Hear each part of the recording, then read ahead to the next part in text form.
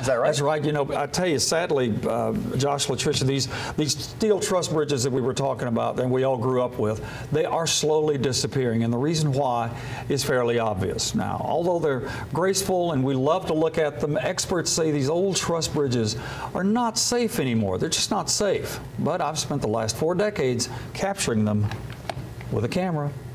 This magnificent five-span steel truss bridge in DeKalb County, Tennessee, is gone now, replaced by a modern bridge in 2015. You may remember the Marion County Memorial Bridge at Haletown. A new bridge replaced it the same year. This bridge, built in 1878 in Bradley County, was moved from Harrison Pike. It now sits desolate, surrounded by weeds on a nearby closed golf course. Everybody seems to remember a steel truss bridge like these in their lives for the, the, the, time and the period, they, they were very cost effective. The, the technology of concrete hadn't really gotten where it is today. Stephen Hutchins is TDOT's chief bridge inspector. He says truss bridges always had problems. Clearance high enough for big trucks was one, as the top beam on this bridge on Old Highway 64 in Polk County shows us.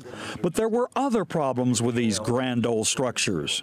Not to say that these trusses weren't safe. They were very safe, but they just took a lot more manpower. It took a lot more effort. Um, and they cause us a lot more restrictions. They, uh, While crews fixed the bridges, like over time the bridge building industry like fixed the problem of safety. Concrete girder bridges are safer.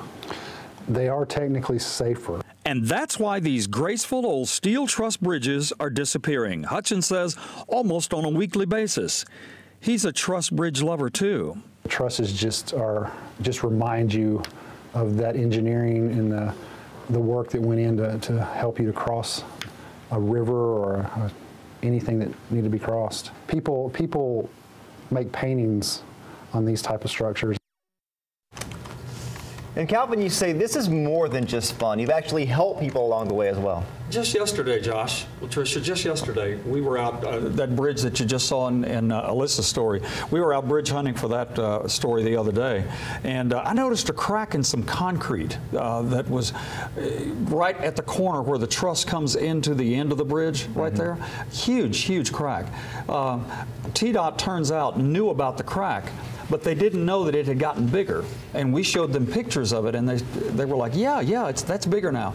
That crack's going to be fixed in the next couple of days. It has to be quick. It's an emergency fix.